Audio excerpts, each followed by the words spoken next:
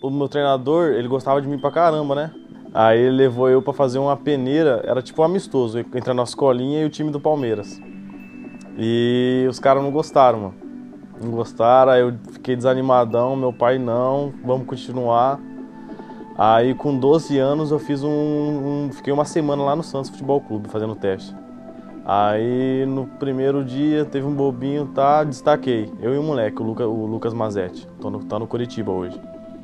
Destacamos. Aí durante a semana demos um baile nos moleques do, do, do, do time já.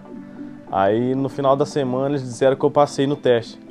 Mas essa que eu passei no teste foi em março. Eu já estava inscrito no, no, no, Paulista, pelo São José dos Campos Esporte Clube. Aí eu fui só no ano seguinte, mano.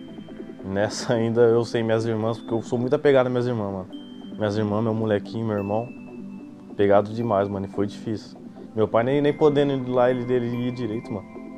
Era o que? Era, era, a cada dois meses ele ia ver um jogo meu lá. Ele dava uma fuga no, no, numa entrega e ia lá pra Santos, mano, duas horas e meia.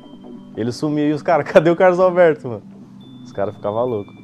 Ele levantava às 7 horas da manhã, mano, para trabalhar de motoboy. Aí dava uma pausa às 11 horas. Aí umas 11 e meia, meio-dia, ele voltava para outro trabalho de motoboy também.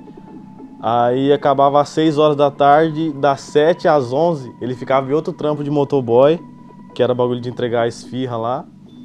Aí ele, ele chegava em casa umas 11 e meia, dormia até às 3 Acordava das quatro, ia trabalhar até as sete entregando o jornal, mano.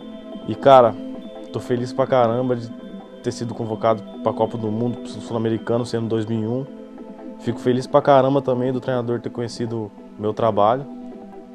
Tamo aí.